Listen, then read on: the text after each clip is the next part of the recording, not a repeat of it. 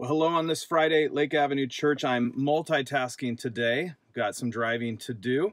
So I thought I would just do the update in the car because this is the quietest place I can do it right now. Hey, a few things. What you're going to see uh, in this week uh, is three letters. You've got a letter from our church chair, Dan Crichton. You have a letter from Ella Lau, our senior pastor search team chair. And you've got a letter from Adam Stiles, who was actually the former church chair and the former senior pastor search team chair, but he's actually bringing a letter, bringing you an update on our bylaw review process. So you have three communications from three very wonderful people in our congregation, bringing great and steady and loyal, faithful service in really important areas. So please take time to read through those things as it comes to this particular weekend, want to make you aware of just a couple of opportunities. One, and the biggie, is we are starting our Sunday night service, and we are so grateful uh, for this uh, this this development for us as a congregation. Now, you will read a way for you to sign up and how that works, and I'm sure you've been prepared for this.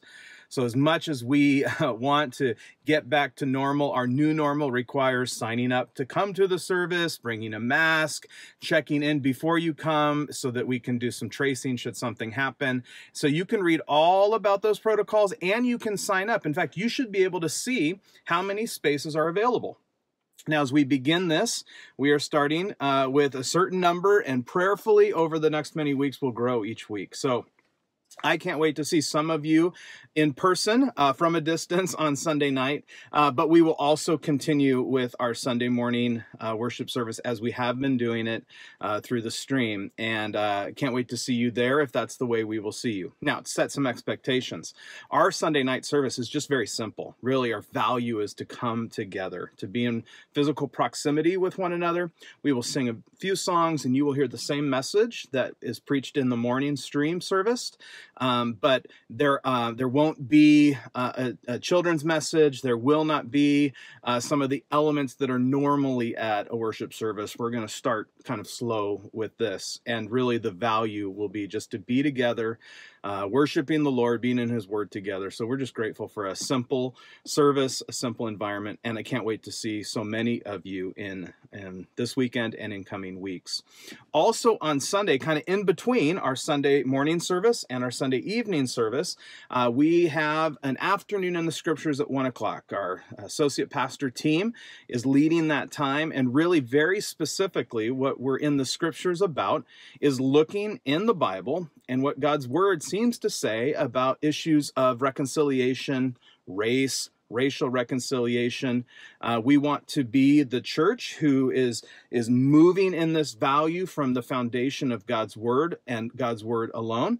And so that's really what this time is. And so there's information on how you can sign up and join for that as well. Uh, this weekend we will be in our second week in our James series, and I'm I'm warning you. This is a text that is messing with me, your pastor.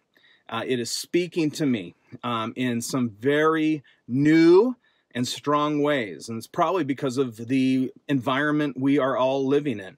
James chapter 1, 19 through 25. Uh, our sermon title is um, Turn Down and Tune In. And what is James asking us to do in that regard?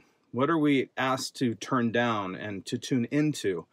Um, and I think they're really relevant words for our hearts, our lives, in this particular moment. I'd love for you to think about, even now, this, this week, have you experienced anger? And, and what has caused the anger?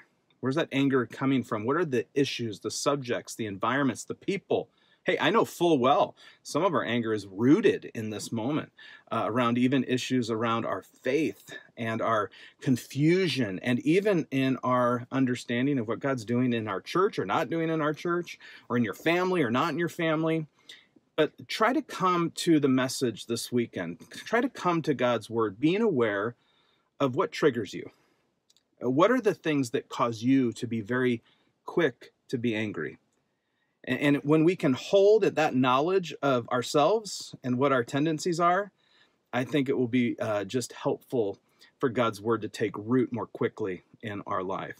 Lake, I hope you are doing well this week. I am grateful for the break of the hot um, and enjoying this kind of fall cool weather.